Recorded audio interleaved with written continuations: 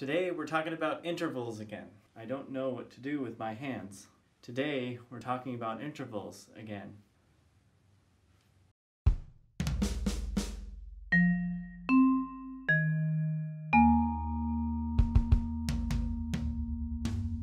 But before we get started, just a quick clarification. Last time we counted the interval numbers from one note up to the next, but we could also play them from the top note down, or even at the same time. You see, the interval number would still be exactly the same. Intervals have a quality and a number. Remember from last time? We got the number. So this time, we're gonna talk about the quality of an interval. See, quality is an adjective that you put before the number. It's an adjective. Adjective. Adjective.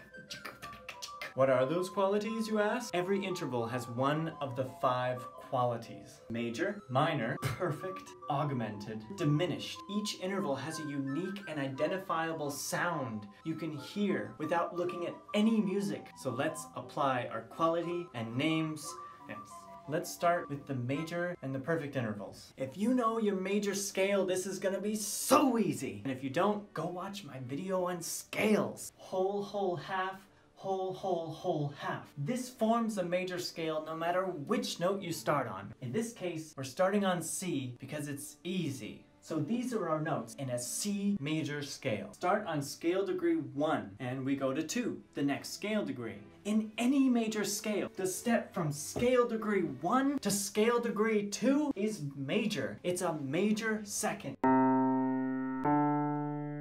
And we already know that that step is one whole step or two half steps. So let's say we uh, we jump from scale degree 1 scale degree 3. In any major scale, if you go from 1 to 3, it's a major third.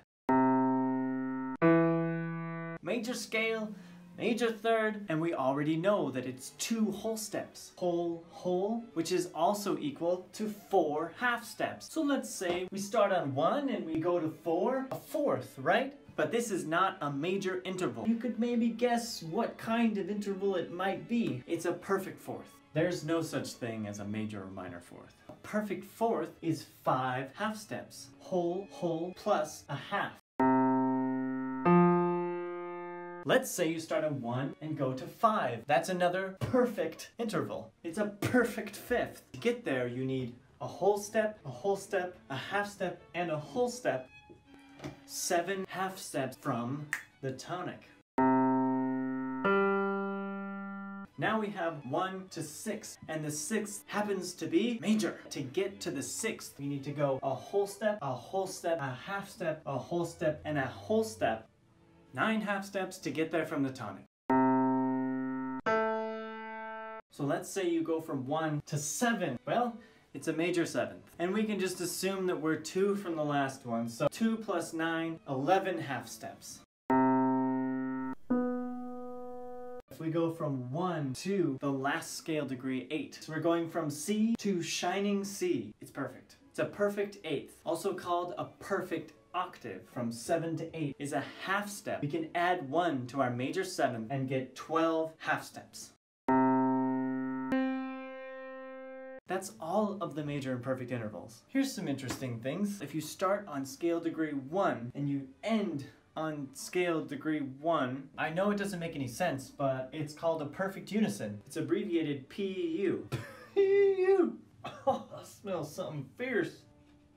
So now that we have them all written out so clearly, do you notice anything about these? You notice it now? How about now? That's right. Both groups of major intervals are grouped together and the rest are perfect. Thank you so much for watching. Be sure to like, comment, and subscribe. Have a great week. I'll see you next time.